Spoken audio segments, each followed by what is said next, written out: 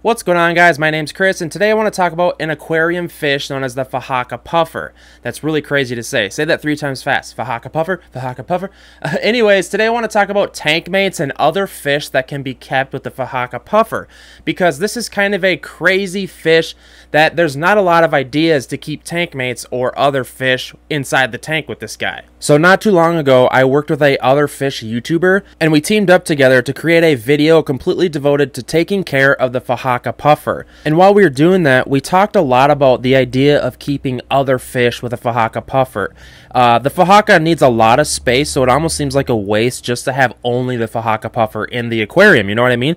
This is a six foot long aquarium right here, and it kind of sucks that, uh, you know, a single species tank has to just take up all that. It's just like, I want more fish, right? You want mid swimmer fish, you want dither fish, just anything, right? And we are going back and forth on talking about the different variables that these fish would need to be able to stay alive with this crazy Fahaka puffer. So we sort of came up with two different categories of tank mates or other fish that you could keep with the Fahaka. The first category is going to be small fish. These are essentially fish that the Fahaka doesn't even see as a meal because the fish is so small.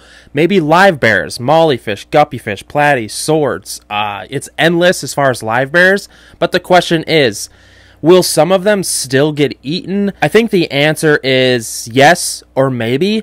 But the thing with livebearers is they're constantly giving birth, and the cool thing about that is if you lose one or two of them, hopefully you have babies to kind of like uh, not feel as bad about.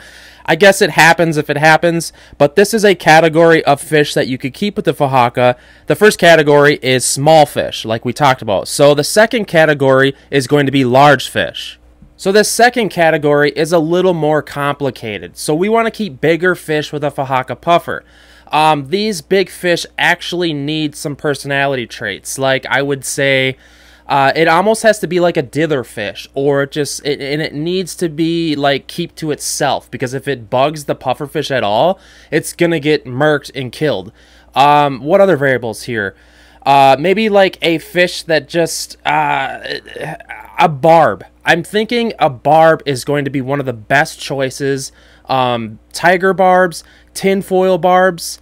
Uh, actually, a tinfoil barb is probably the best choice because they get pretty big. They keep to themselves. They're so they're always moving, and that they don't ever stop. And it almost seems like it would become exhausting for the Fahaka puffer to try to like keep up with. One more fish comes to mind when thinking about tank mates for a Fahaka. Silver dollar fish. I feel like silver dollars can be the perfect ditherfish slash tank mate for almost any setup. And here's my advice though. Don't do one or two of them. I would do like 10 of them because when silver dollars are in a school, they're a lot more confident. The fish just do better in schools. Well, guys, this was a little complicated, but I figured out that we could do some fish with them. So we talked about livebearers. We talked about the tinfoil barbs. We talked about the silver dollar fish. I feel like those are good fish to keep with the Fahaka. So let me know in the comments section. Are you going to think about this? Are you going to trial one of these fish? Do you possibly have maybe another idea of another fish we could use?